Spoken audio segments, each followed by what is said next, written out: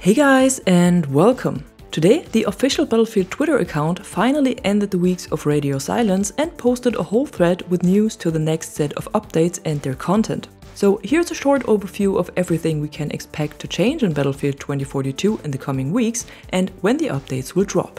And the first one, which is update 3.2, will already come tomorrow alongside the new weekly missions. It will mostly contain small fixes that are focused on improving the stability of the game and also adds full XP and weapon progression to more Portal servers.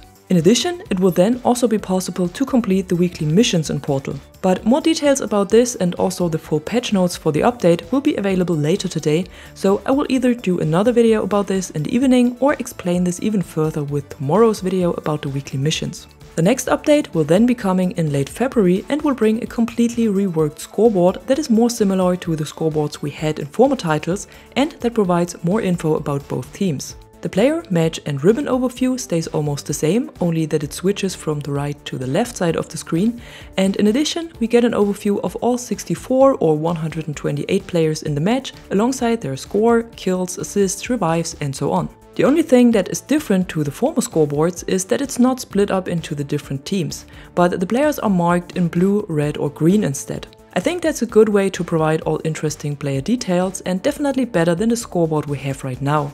And they also wrote that they will further improve the scoreboard after this update depending on the player feedback, so we might see even more improvements here. And the last topic that was mentioned is the matchmaking preferences in All Out Warfare and a voice chat option for all platforms. Right now, there are no further details about it or when it will be added to the game, but it's on top of the list and they are working on it, which is good news already. So I'm more than happy that this radio silence has ended and that they keep us informed about coming updates and what the development teams are working on. And I hope to see some good improvements and new content added to the game that will make players return to it.